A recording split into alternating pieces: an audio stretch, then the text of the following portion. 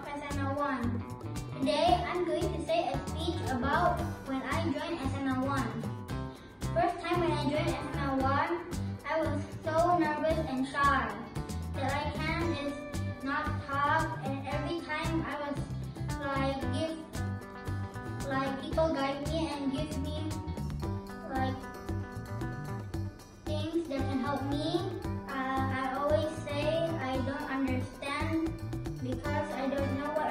talking about because at that time I haven't understand all rules. But now I understand all rules. I'm not and I'm not shy anymore. So what about your experience in SMLONE?